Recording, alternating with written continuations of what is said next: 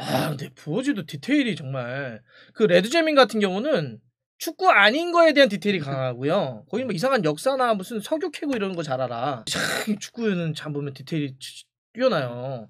저 최고인 것 같습니다. 아닙니다. 예, 이랬었는데 요즘은- 얘네들 합치면은 잘 못했었어요. 네덜란드. 어. 합치면 도리어 못했었는데 지금은 도리어 소속팀보다도 대표팀에서 더 잘해요. 어. 또 축구 얘기하다 좋아한다. 아니요. 축구 얘기하다 흥분 좀 하지 마. 그게 아, 좀- 흥분될 얘기는 아니잖아. 좀 그렇다는 거죠. 예. 저희가 이제 카타르 월드컵 조추첨을 한 일주일 정도 남겨놓고 네. 우리가 절 대적으로 만나면 안 된다. 네. 피했으면 한다라고 하는 팀들 시리즈로 좀 저희가 해드리고 있는데 네. 오늘은 이 팀을 딱 하신다고 그래가지고 네. 처음에 약간 느낌이 어땠냐면 아이고 지난 월드컵도 못 나온 애들 아니야. 아유 뭐, 저- 뭐 이런 느낌 있잖아. 아하. 근데 가끔씩 저 월드컵 못 나올 때도 있고. 네, 그렇죠. 아, 뭐 해볼 만한데. 네. 그런데 이제 저도 이제 쭉 한번 봤죠. 네. 아씨 아니네. 그리고 이- 어, 얘네들 포트 때문에 그렇죠. 장난 아니네. 네. 이런 느낌. 그래서 네. 자 오늘은 요 팀 얘기해 주실 거죠? 네. 저 네덜란드입니다. 네덜란드. 예. 사실 우리의 네덜란드 이러면은 뭐 뒤에도 뭐 상성이나 역대전적 말씀드리겠지만 네. 아마 국내 팬들에게 네덜란드 이랬을 때 가장 강렬한 인상은 아마 98 프랑스 월드컵. 그렇죠. 경기장에 저도 네. 중계해 보려고 한국 딱 기다리고 오렌지 물결. 갑자기 카메라가 경기장 싹 들어갔는데 네. 경기장이 온통 오렌지색이야. 우리야 지금은 익숙하지. 우리도 빨간색 쫙 있고 그런 문화가 좀 적을 때 와 미친 미쳤네. 그리고 결과도 아유 그때 당시 히딩크가 저쪽 감독이었고 네. 그렇죠. 네. 에이, 힘들었던 기억이 있는데 여하튼 자 하지만 네덜란드가 최근에는 월드컵에 올라오면 대박이에요. 근데 네. 아예 못 올라오기도 하고 막 예. 이렇게 왔다 갔다 하긴 했습니다. 네. 그런 이제 네덜란드인데 이거는 노르웨이 경기가 이번 카타르 월드컵 본선지를 확정지었던 경기. 예, 최종 경기에서 음. 확정을 지었죠. 2대 0으로 승리하면서 확정을 지었는데요. 근데 좀 쉽게 올라온 건 아니었어요. 음. 그것도 이제 마지막에도 그 경기 막판에 베르바인이 선제골을 넣었고 결승골을 넣었었고요. 어, 해, 저 예. 손흥민 선수의 백업 아니에요? 그렇죠. 예. 어쨌건 간에 그러면서 간신히 올라오긴 했었거든요. 네. 예. 아 그래도 네, 뭐 축 자체가 뭐, 뭐 멤피스 네. 데파이도 있고 네. 뭐 단주마도 계속 올라오고 있고 프랭키 예. 더용도 있고 반다이크 있고 예. 데리흐트 있고 멤버 예. 좋습니다. 예. 예, 멤버 좋아요. 자 그러면 저희가 계속 하고 있는 네. SWOT 분석 강점 네덜란드의 일단 뭐 센터백 라인이 괴물이죠. 일단 반다이크 데리흐트도 그런데 데브라이가 지금 예. 벤치로 밀려날 판이에요. 와 폭백을 쓰면은. 그렇죠. 예. 워낙 저 앞에 둘이 예, 부동이 저거니까. 예. 어. 거기다가 뭐 그 뒤에도 뭐 팀버라던가 아키라던가 이런 선수들까지 버티고 있거든요. 그러니까 진짜 멤버. 예, 센터백 뎁스가 거의 괴물이에요. 근데 이- 이- 네덜란드는 보면 왜 이렇게 센터백들이 아니, 근데 요새 조금 그 어, 조금 그런가? 예, 예전에는 예전에 마- 많이 바뀌었. 그 예전에 예, 야프스탐이랑 뭐 이제 어, 어, 예, 데브라라던가 음. 이런 선수들이 있긴 했었죠. 그런데 어쨌건 비교적 최근은 그래도 네덜란드 하면 일단 공격이 강하고 수비는 다소 음. 신경 안 쓰는 그런 느낌이 아니면 강했었는데. 예전 사삼삼 쓸 때는 측면 쪽 오베르마스 예, 같은 그렇죠. 친구들. 예, 어. 아니면 로벤이라던가 그렇죠, 뭐, 그렇죠. 예. 두 번째 강점. 짜임새 있는 중원이라고 해가지고 뭐 그 더용 프랭키 더용 바이날둠 클라센 데룬은 대표팀에서 이미 오랜 호흡을 맞춘 사이고요. 아하. 그리고 이제 그 베르하이스가 오른쪽 윙 역할을 맡는 선수인데 이 선수가 아약스에선 중앙에서 뛰거든요. 음. 근데 이제 뭐 베르하이스, 흐라벤베르흐 그리고 클라센 아약스에서 또 호흡을 맞추는 아, 선수들이요. 그러니까 그러다 짜임새 보니까 예, 좋겠다. 조직력이 상당히 좋다라고 할 수 있죠. 거기다가 어. 뭐 흐라벤베르흐, 코프 마이너스, 후스틸 같은 그 신예 선수들까지도 이제 올라오고 있는 상태인 거죠. 아, 근데 부어지도 디테일이 정말 그 레드제민 같은 경우는 축구 아닌 거에 대한 디테일이 강하고요. 거기 뭐 이상한 역사나 무슨 석유 캐고 이러는 거잘 알아. 음. 축구는 참 보면 디테일이 치- 뛰어나요. 저 최고인 것 같습니다. 아닙니다. 예. 어, 예, 예. 세 번째 저 예. 애국자들 뭡니까 갑자기 왜 이게 국, 그러니까 국뽕을 차오르게 합니까? 약간 바뀌었어요. 원래는 이게 그냥 무슨 얘기냐면요. 애국자들이 네. 뭡니까 갑자기 강점에? 저게 그러니까 그 데파이라던가. 바이날둠이라던가 이런 선수들이 원래 그 그러니까 소속팀보다도 대표팀에 오면 더 잘해요. 실제 그 데파이가 A매치 38골로 네덜란드 역대 득점 4위거든요. 음. 근데 최근 6경기 10골 4도움이고요. 이걸 그 국대에서? 예, 18경기로 확장 그 확장하더라도 19골 8도움이에요. 메시 놀이 하고 있어요. 와. 대표팀에서는. 그러니까 얘- 우리는 그러니까 이런 것 같아. 예전에 멤피스 데파이가 과거에 프리미어리그에서 예. 맨유에서 약간 죽 썼던 지금 기억 때문에 바르셀로나에서도 살짝 어. 뭐 그래서 그냥 그렇잖아요. 아뭐 이런데 대표팀만 가면 미쳐. 예. 그리고 바이날둠도 뭐 최근엔 조금 주춤하지만 그래도 어. 그 17경기에서 8골 4도움 올렸거든요. 아하. 그리고 아까 얘기했던 베르바인도 어. 소속팀에서 못 나오잖아요. 그치. 못 나오는데 결승골 넣고 가끔씩. 기적만 일으키지. 예, 그러면서 예 그리고 뭐 단주마도 어쨌건 음. 그 동안은 안 뽑혔다가 이제 최근 다- 세 경기에 아하. 뽑혀 가지고 1골 2도움으로 빠르게 이제 대표팀에 안착하고 있거든요. 원래 애국자면은 독일이었잖아요. 아 그렇죠 그런 게 독일이 강하지. 항상 포돌스키, 음, 뭐 음, 클로제 음, 막 음, 해가지고 음. 대표팀만 오면 더 음. 미쳐 날뛰는. 그래서 아 소속팀보다도 대표팀만 오면 더 잘해서 독일이 강하다. 음. 이런 인식이 강했는데 최근에는 독일이 도리어 애국자들이 사라지고 있고 네덜란드는 도리어 애국자보다도 소속팀에서 더 잘하는 선수들 막 소속팀에서는 뭐 예전에 뭐 반니스텔로이, 클루이베르트, 뭐 마카이 과거에는 그랬는데 예 이랬었는데 얘네들 합치면은 잘 못했었어요 네덜란드 어. 합치면 도리어 못했었는데 지금은 도리어 소 속팀보다도 대표팀에서 더 잘해요. 어. 또 축구 얘기하다 좋아한다. 아니요 축구 얘기하다 흥분 좀 하지 마. 그게 아, 좀- 흥분될 얘기는 아니잖아. 좀 그렇다는 거죠. 예. 패트리어트. 예. 그 네덜란드의 강점 패트리어트다. 예, 좋습니다. 아, 약점 첫 번째. 예, 골키퍼. 예. 실리선하고 크롤이 그 하락세거든요. 아, 그러네. 실러선도 막 한동안 못 나오고 막 그랬잖아요. 예, 부상도 많고 어. 예, 나이도 있고 이제 두 어. 선수 다. 아, 예. 그러네. 골키퍼가. 예, 그래서 이제 플레켄하고 드론메를 이번에 그 대표팀에 차출했어요. 어. 근데 아직 A 매치에서 뛴 경기가 전혀 없거든요. 우리가 반데사르와만 놓고 보더라도 아유 좀 약해졌다 이런 느낌이 드네요. 예. 예, 좋습니다. 아니 저 오른쪽 측면 공격 예. 바로 그냥 옆에 있는 건가요?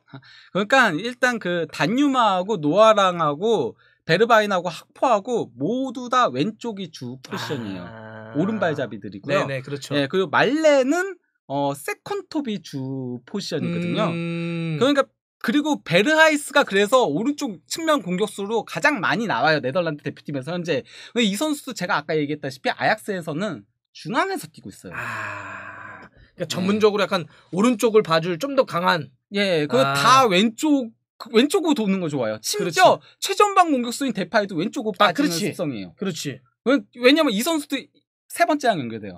왼발 잡이가 공격 자원에 베르하이스 한 명밖에 없어요. 그래서 베르하이스를 오른쪽에 쓰는 거예요. 요새 반페르시 뭐해?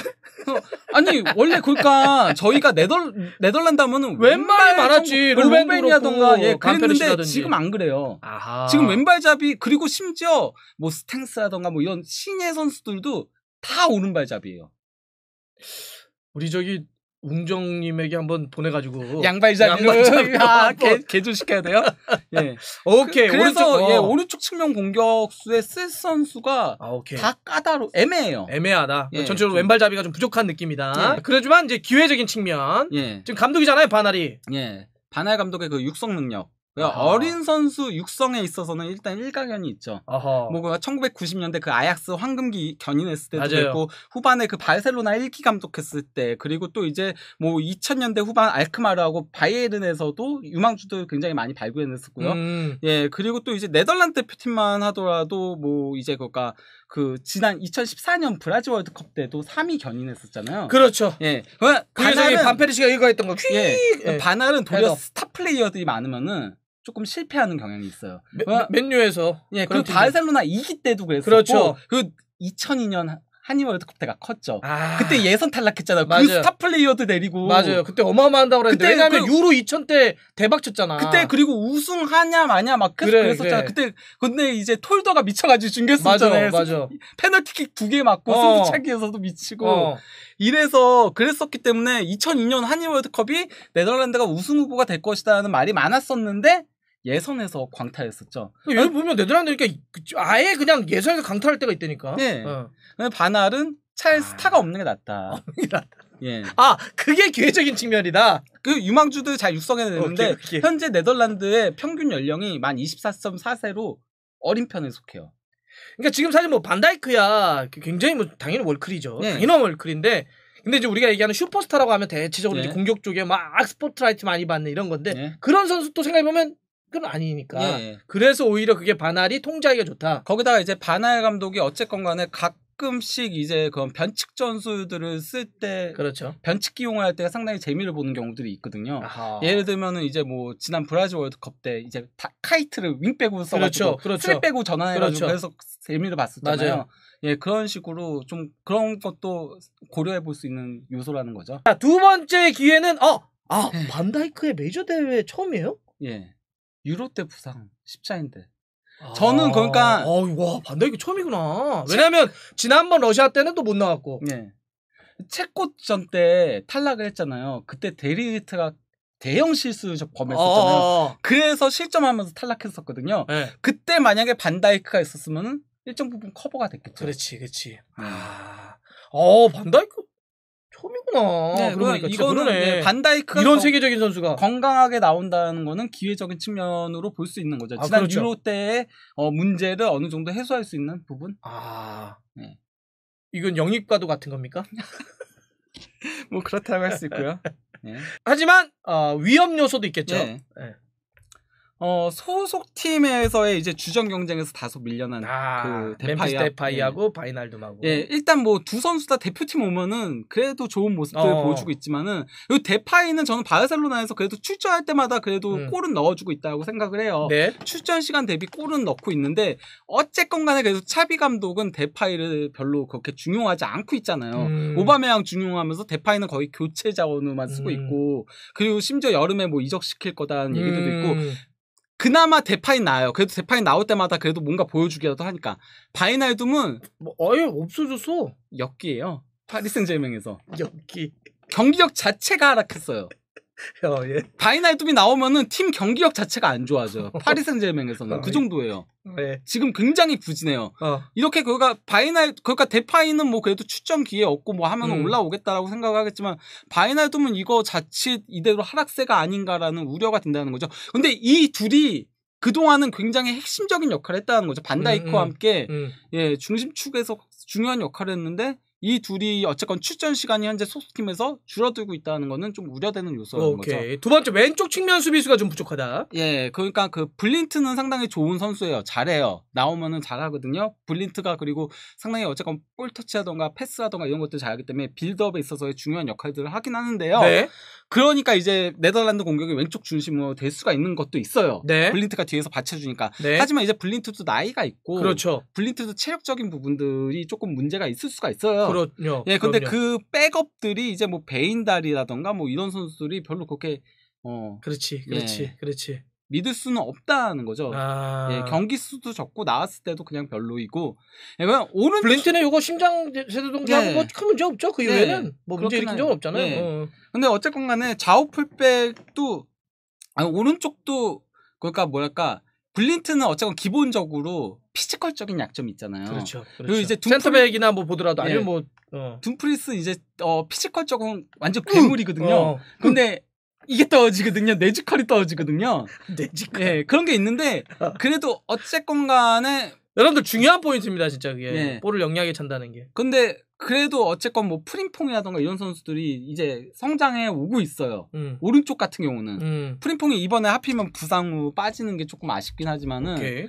예 그래도 뭐 월드컵까지는 돌아올 테니까 네. 예 그러니까 그런 선수들이 있으니까 어떻게든 보완이 된다 하더라도 왼쪽 측면 수비는 예 까딱 잘못하면 또 악해 세워야 되는 상황들이 아. 온다는 거죠 블린트가 못 나올 때는 아하. 자, 그래서 왼쪽은 뭐 일반적인 예상 라인업이고 예.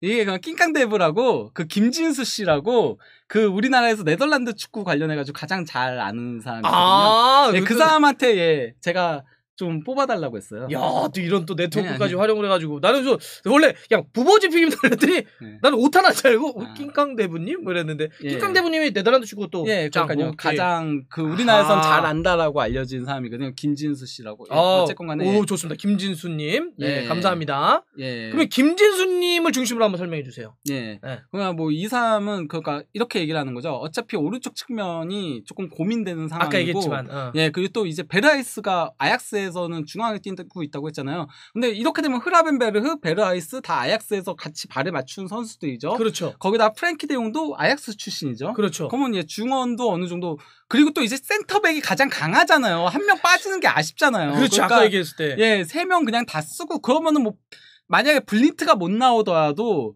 그때. 이제 예, 베, 베인달이라던가 뭐 이런 선수들이 나와도 부담감이 덜 할 수 있는 거고 그렇지. 예, 그 그러니까 예 단주마를 차라리 투톱을 올리는 것도 방안이라는 거죠. 아. 실제 단주마가 어쨌건 최근에 비야레알에서 톱으로 나오고 있거든요. 어, 그죠. 골 많이 넣잖아요. 예, 어. 좋은 모습을 보여주고 있으니까 차라리 이게 더 나은 선택일 수도 있다. 그 실제 그 판할 감독이 고민 중이라고 얘기했다라고 하더라고요. 아, 저렇게 하는 것도. 예. 왜냐하면 백스리를 쓰는 감독이니까. 네, 그러니까요. 아니 근데 느낌이 반다이크 데리흐트 더브레이를 저렇게 세 명을 세워놓으니까 물론 수비를 뭐 센터백끼리 하는 건 아니지만 예. 야 저건 좀 심하지 않냐 해서 저걸 저것들끼리 어, 어떻게 들어야 되는 예. 느낌이야 물론 뭐 선수 개개마다 뭐 약점을 다 지적할 수는 있습니다 할 수는 있겠지만 야 어쨌든 그 이름이나 그림만 놓고 봤을 네. 때는 어, 어쨌건 그래도 왼쪽은 여태까지 썼던 거를 중심으로 예 계산을 하- 예상 예상을 한, 거고 예, 어, 백스리를 실험을 할 수도 있다라고 얘기했으니까 그렇게 재밌네 예, 이렇게 나오는 것도 방안이라는 거죠. 어, 예. 좋아요 좋아요 오 어, 좋아요 일단 감사합니다 김준수님 예. 낑- 낑깡대부님 예. 자, 한국과의 상승. 사실 우리가 아, 네덜란드는 비긴 적도 없습니다. 예. 심지어 골도 없어요. 맞아요. 예, 이전 전패에 뭐 어쨌건 간에 그 98 월드컵 악몽 있고요. 다섯 골 내주면서 0대 5로 졌고. 예, 그다음에 이제 2007년 평가전 때 0대 2로 또 서울에서 했을 때죠. 예, 예. 그때도 골 못 넣고 0대 2로 졌고. 예. 그래서 두 경기에서 골 없이 7골 내주면서 2전 전패입니다. 예. 음. 그런데 뭐 네덜란드는 앞에 쭉 전력 설명했고 우리가 역대 네. 전력도 얘기했는데 네덜란드는 제일 이 사실은 한 조에 되면 안 되는 게 여기 여기가 포트가 여기도 예. 2번이죠. 예. 그러니까 2번 유력한 거잖아 예, 지금으로서. 그렇습니다. 그 이야기는 네덜란드에 속하 네덜란드가 한조가 된다는 얘기는 예. 1번 포트에 정말 잘하는 팀이 하나 또 들어온다는 얘기잖아. 예. 어차피 카타르와 우리는 같은 아시아기 때문에 같은 예, 조가 안 돼요. 맞아요. 그러면 저 남미의 브라질, 음. 아르헨티나 예. 아니면 뭐뭐 프랑스나 뭐 이런 팀들 하나 2번 네덜란드 하나 우리 네. 이렇게 돼 버리는 거. 만약에 네. 한 조에 된다면. 예, 지금 아, 어쨌건 간에 카타르 때문에 이게 꼬인 거예요. 맞아요. 카타르에다가 이제 어쨌건 이탈리아, 포르투갈이 다 탈락하더라도 9위인 덴마크가 올라가게 될 가능성이 높거든요. 음, 1번 시드로. 맞아요. 그래서 만약에 이탈리아하고 포르투갈이 동시에 만약에 탈락을 한다면은 그건 만나야 될 팀으로 1번 시드에 덴마크가 급부상하게 되는 거죠. 그렇게 되면은 맞아요. 예. 아 이런 것들도 고려를 해야 되기 때문에 그러네요. 예. 어, 네덜란드도 피해야 되겠다. 저희가 좀 절대적으로 피해야 할 팀들. 다음 주 금요일에서 토요일 넘어가는 새벽 1시에 이제 조추첨이 열리는데 어, 안 만났으면 좋겠다. 아, 이거 되게 기- 이거 조추첨할 때 나오셔야 됩니다. 같이 보셔야 돼요. 예. 네. 이거 설명을 해줄 분은 제가 봐서는 우리 부버지밖에 없습니다. 잘 되겠죠? 예. 조추첨. 예. 이렇게 한번 정리해 볼게요. 네. 네.